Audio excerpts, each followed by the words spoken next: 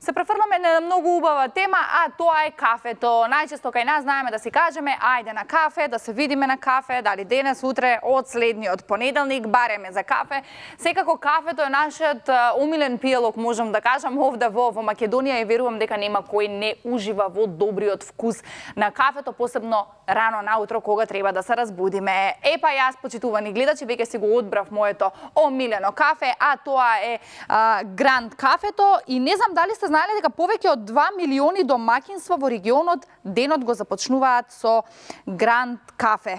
За тие што не знаат, Гранд кафе е првата приватна трговска марка на црно кафе создадена во 90-тите години во Србија и создадена со огромен ентузијазам, посветеност и љубов кон кафето. А кога нешто е направено со љубов, тогаш брзо си го наоѓа својот пат до потрошувачите. Еве, да, го видовте сега најубавото гран кафе а, на светот и верувам дека веќе е и ваше омилено гран кафе, посебно откако кажавме дека имаат своја програма на лојалност која што на вистина ги наградува сите, тоест ве наградува вас. Колку повеќе пиете кафе, а, гранд кафе, толку повеќе бодови се добивате, а тие бодови можат да ви донесат и вредни награди. Не попусто за Гранд Кафе стои најпознатиот слоган и мирис и вкус, а посебно моето омилено Гранд Кафе на вистина го заслужува овој епитет. Кога веќе спомнавме за програмата за лојалност, да подсетиме уште еднаш. Овде ги гледате сите гранд кафиња, значи имаме од 100 грама, имаме од 200 грама и имаме и од 500 грама. Во секоја кесичка внатре има еден единствен код – кој што треба да го пратите на нивната веб страна www.grandkafa.mk Таму ќе се направите ваш профил и ќе си ги внесете, тоест ќе го внесете кодот кој што се наоѓа внатре во кесичката. Овие кафиња од 100 грама ќе ви носат само еден поен, Кафињата од 200 грама ви носат по 2 поени, а кафињата од 500 грама ќе ви донесат по 5 поени.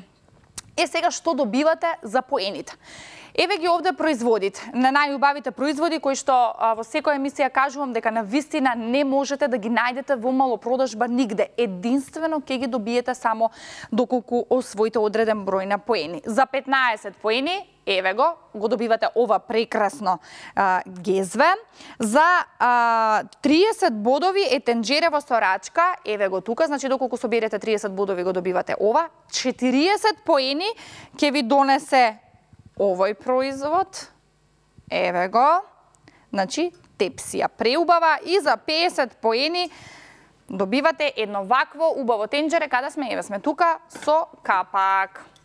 Ете така, за сите домакинки, јас мислам дека на вистина ова е еден преубав подарок од Гран Кафе, а зошто? Само затоа што уживате и во мирисот и во вкусот и нормално сте дел од оваа програма на лојалност која што е наречена не за джабе, затоа што навистина нормално ни треба да се а, праќаат нели коверти, да се праќаат по по пошта, па да, да чекате да ви излечат за да добиете некоја награда, не тоа воопшто не е игра на среќа, туку е програма на лојалност. Преубави пакувања кои што можете да ги сретнете буквално секаде и воопшто немојте да се мислите а, кога треба да си одберете кафенце. Со постојаното подобрување на технологијата и внимателно слушање на потребите на пазарот, Гранд Кафе со години создава производи кои што се порационализирани и се наоѓаат на самиот врв. Не за џабе, Гранд Кафе е и најдоброто, кафе кое што можете да го сретнете кај нас овде во пазарот, а нормално и во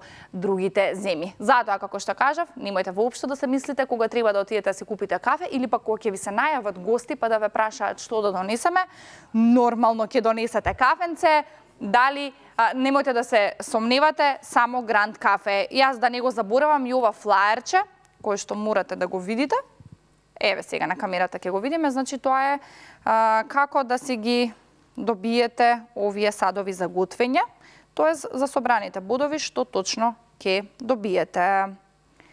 Ете, многу е лесно, многу едноставно, само кодот го испраќате на нивната веб страница и во зависност од тоа колку бодови ќе си, од, ќе си освоите, си добивате преубави производи кои што се тука. Епа нека вие на здравие кафе, сега и јас одам на кафе, нормално да си сварам едно Гранд Кафе Голд, а вие уживајте во остатокот од денот, почитувани гледачи.